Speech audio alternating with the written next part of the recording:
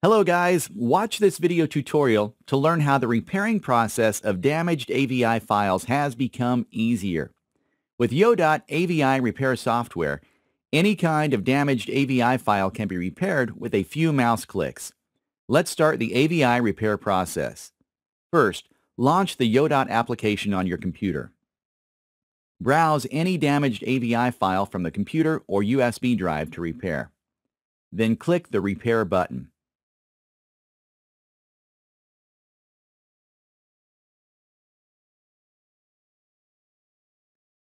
The software scans the video file and starts the repairing process. The file repairing process can take a little bit of time depending on the AVI file size. When the process ends, you can preview the video immediately using the Preview button shown here.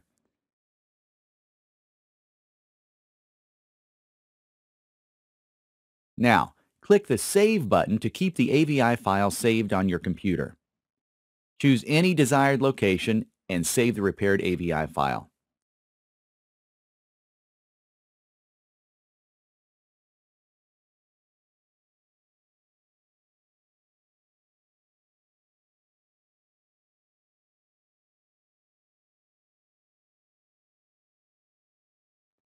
Here, as you click OK, the software immediately opens up the folder where the repaired AVI file is saved.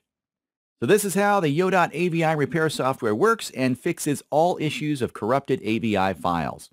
For updates or any questions related to the software, please visit our website.